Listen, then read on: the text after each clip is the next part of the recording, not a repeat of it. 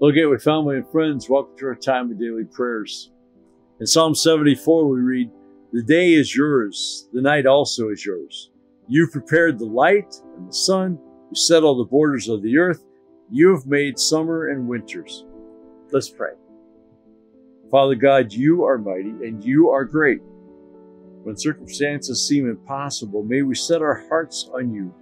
Let us remember that this world is yours You've made the night and the day. You are in control. So let's not be distracted by what we see. May our souls be centered in you, Lord. We trust you in our circumstances. We surrender all to you, our blessed Savior. You are our God. Amen. Thanks for joining us for our time of daily prayers.